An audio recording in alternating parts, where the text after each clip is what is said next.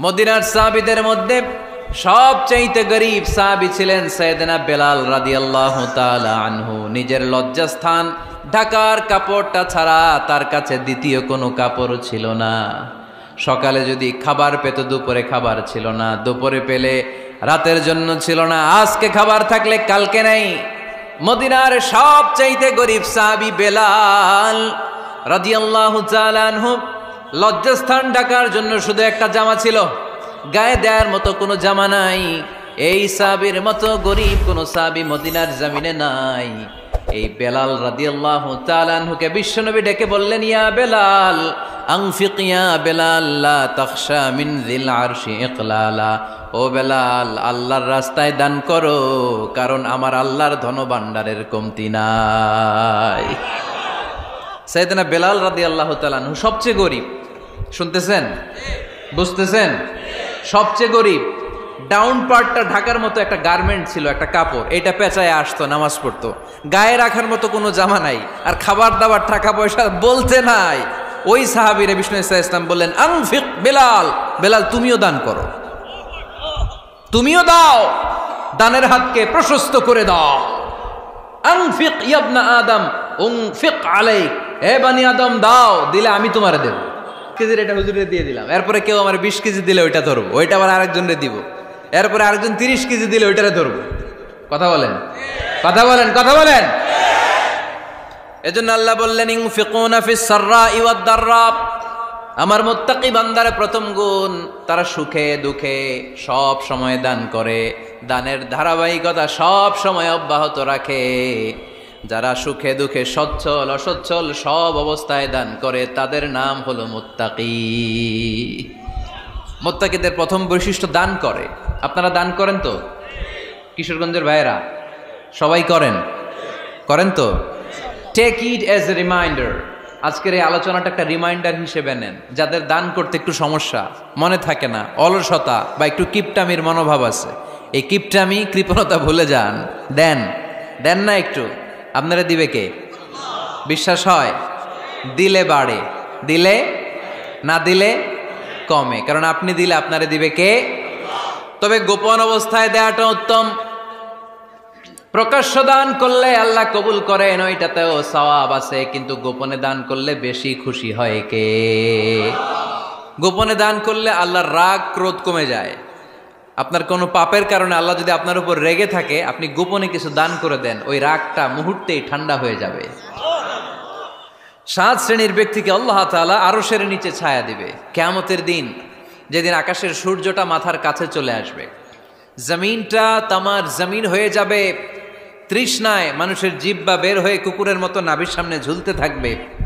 সূর্যের প্রচণ্ড কিরণ আর তাপে মাথার মগজগুলো গলে গলে নাকের ছিদ্র আর কানের ছিদ্র দিয়ে ভাতের মাড়ের মতো টপ টপ করে বেয়ে বেয়ে পড়বে।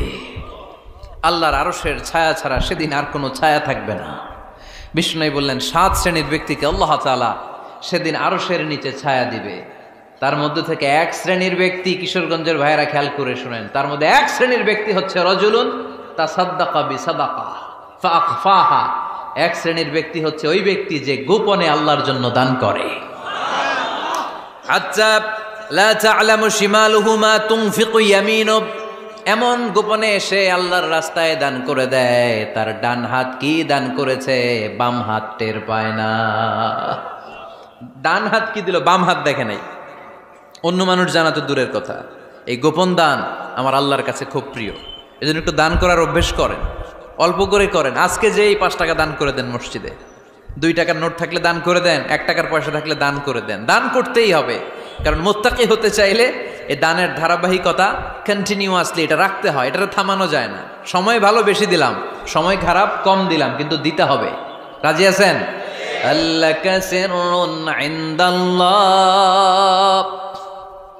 বাইনাকা আন্তা বাইনাল্লাহ। هل لك صدقات تخفى؟ لا يعلمها إلا الله. هل لك سر عند الله؟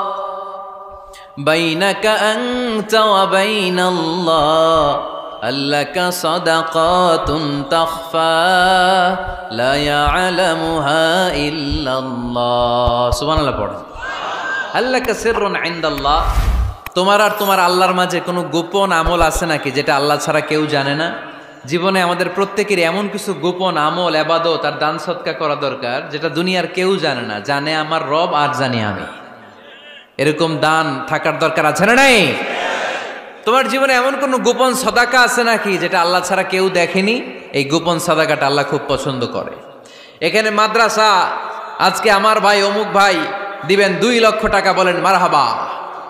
এটা উনি আল্লাহর জন্য দিতে পারে মার মারহাবার জন্য দিতে পারে। ঠিক কিনা কিন্তু রাতের আধারে রাস্তার পাশ দিয়ে হেঁটে যাচ্ছেন মসজিদের দান বাক্সটা লেখা।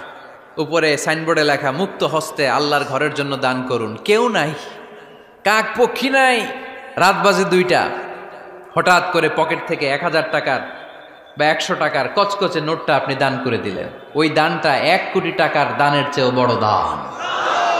কারণ দুনিয়ার কেউ তখন দেখে নাই দেখেছে কে কেউ যেটা দেখে না সেটা দেখে কে কেউ যেটা জানে না সেটা জানে কে সবার চোখ ফাঁকি দেয়া গেলেও আমার আল্লাহর চোখ ফাঁকি দেয়া যায় এজন্য দান করতে হবে একজনের খুশির জন্য তিনি কে এজন্য রাব্বুল আলামিন বলেন মাসালুল্লাযীনা ينفقون أموالهم في سبيل الله كمثل حبة أنبتت سبع سنابل في كل سنبلة مئة حبة والله يضاعف لمن يشاء والله واسع عليم سبحان الله পড়েন আল্লাহ বললেন এই যে তোমরা আমার রাস্তায় দান করো এটার উপমা একটা চারা বীজের মতো। এই চারা বীজ জমিনে গেড়ে দিলে সেখান থেকে ষাটটা শীষ গজায়, প্রতিটা শীষ থেকে একশোটা করে দানা হয়। প্রতিটা শীষে জন্ম নেয় শত শস্য দানা। সুবাহান আল্লাহ চারা বীজ ছিলেন না? মাটিতে ঢুকাই দিলেন। ষাটটা শীষ গজালো। প্রতিটা শীষে আবার একশোটা করে দানা। মোট কটা হইল? সাতশোটা। এক চারা বীজ থেকে যেমনি সাতশো দানা গজায় তেমনি এক টাকা দান করলে এরকম সাতশো গুণ সব আপনার আমল নামায় ঢুকাই দিবে কে? যারা দুনিয়ার বুকে প্রকাশ্যে গোপনে দান করত, সচ্ছল আর অসচ্ছল অবস্থায় দান করত, কেয়ামতের দিন যখন তাদেরকে তাদের আমল নামা দেয়া হবে, আমল নামা দেখে বলবে, আল্লাহ, এত সওয়াব দুনিয়ার বুকে আমি করি নাই।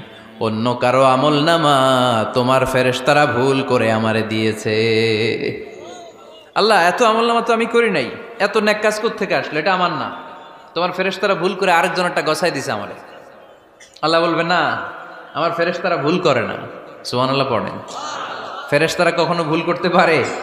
না, এটা তোমারই আমল নামা। আমার আমল নামা, আমি তো এত সব করি নাই। আল্লাহ বললেন, তুমি যে ওই আমার খুশির জন্য দান করেছ, ওই ছোট্ট দানটাকে আমি বড় করে তোমার আমল নামায় ঢুকাই দিস আরও আসতে কন সুবাহান আল্লাহ হাদিসে এসেছে কামাই ইয়রব্বি আহাদুকুম ফুলুয়াহ তোমরা যেমনি ছাগল পালো বা সুর পালো, আল্লাহ তাআলা তোমাদের দানটাকে এরকম পেলে পুষে বড় করে। আপনারা কিশোরগঞ্জে গরু পালেন কারা দেখি? বাড়ি বাড়ি। আপনার বাড়িতেও আছে। তো এই যে গাভী যখন বাচ্চা দেয় বাসুর হয়, খুশি লাগে না আপনাদের? মালিক কি করে? এটারে খাওয়ায়, খাইয়ে, দাইয়ে, পেলে, পুষে বড় করে না? কুরবানির হাটে বিক্রির জন্য? আল্লাহ বললে, তুমি যে ওই ছোট্ট দান করেছ, তোমার এই ছোট্ট দানটা আমিও এটারে খাইয়ে দাইয়ে পেলে পুষে বড় করে উহুদ পাহাড়ের সমান করে তোমার আমল নামায় ঢুকিয়ে দিয়েছি। এজন্য আল্লাহ বললেন, আল্লাযীনা ইউনফিকুনা ফিস সাররাই ওয়াদ দাররা, মুত্তাকিদের প্রথম গুণ সচ্ছল আর অসচ্ছল, উভয় অবস্থায় আল্লাহর জন্য তারা দান করে। সুবহানাল্লাহ পড়েন। তাহলে মোত্তাকিদের প্রথম গুণ তারা কি করে? জোরে বলেন, সবাই বলেন। আবার বলেন